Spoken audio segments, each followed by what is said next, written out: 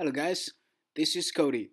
In this video, I'm to show you how to import iOS 13 shortcuts to your iOS 12 devices.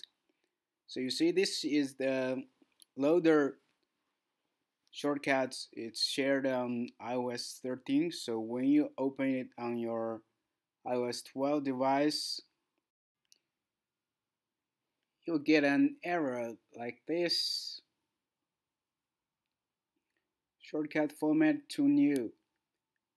So uh, apps it asks you to up update shortcuts, but you you already got the latest version available. So in this case, you need to download the you get this shortcut.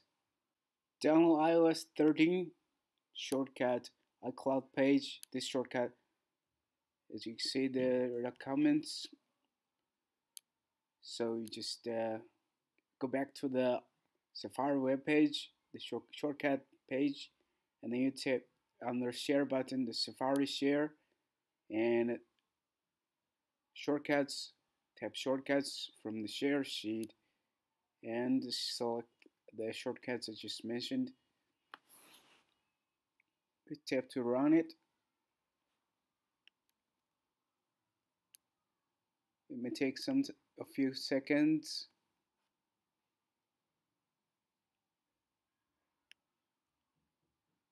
Okay, it's converted to the iOS 12 shortcut.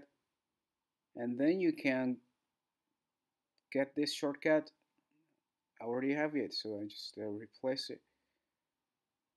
So here you have it. Now you can run this shortcut on your iOS 12 device. Okay that's pretty much it for this video. Hope you find this helpful. It's uh, you see, uh, this is uh, iPhone 6, so a lot of shortcuts uh, created on iOS 13. So thank you for watching. I'll see you in the next one.